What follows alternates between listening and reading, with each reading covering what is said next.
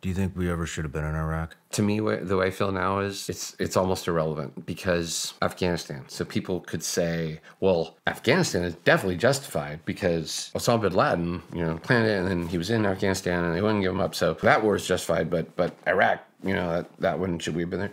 We went and sent a very small unit to just go get him in Pakistan. Couldn't we have done that in Afghanistan? Did we have to invade the whole? You know, it's just like now, dude. I just look at politics of everything and the politicians and that whole machine. I don't trust anything it says. It's a mechanism. Like war is a mechanism.